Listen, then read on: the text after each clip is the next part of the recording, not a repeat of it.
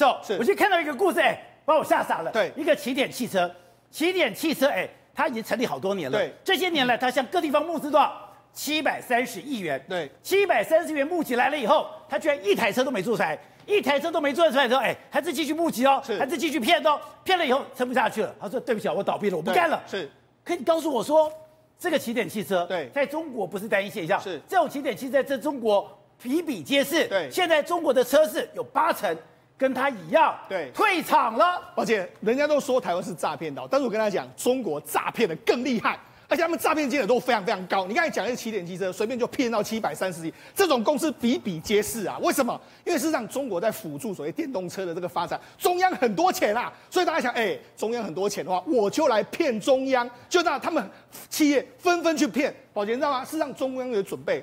大菜，那中央就说：“哎、我准备了好几千亿的人民币，上兆台币，我准备要把中国人的这个电动车把它砸起来。”你说中国为了辅助这种电动车是，丢了几兆台币对，好，那。事实上，好，你既然中央政府既然是这样子的时候，好，所以你看，二零一九年的时候，根据中中国的统计数字哦，中国累计整车的这个注册商有六百三十五家，哦。那成功注册有四百八十六家，我们就说有五百家。当时要研发的车型有五千八百二十七个车车型哦，对。就宝洁到现在为止，做出来多少？中国剩下五十家，也就是说从原本的五百家变成五十50家家，百分之八九十的都倒闭了，而且车子呢，很多车子根本都是号称他们就是有蓝图，然后有一个这个魁有一个样子给你看，然后最多最多做出一台给你看，但是接下来都没有，都没有了最多，所以它事实上这些完全都是骗补，所以说那很多几兆台币对。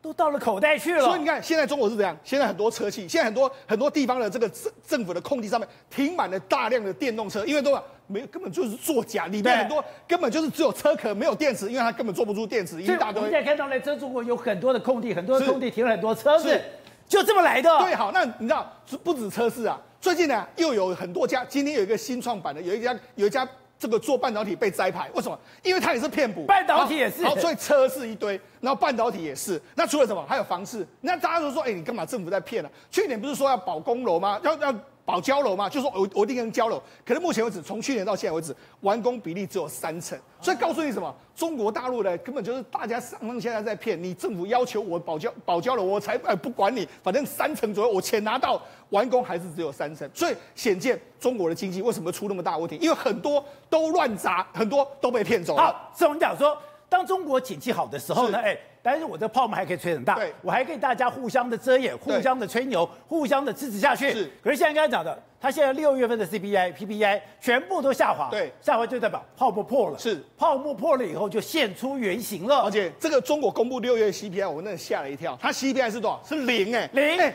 也就是说它没有通货膨胀。哎、现在全世界大家都通货膨胀成这个样子，为什么它会是零？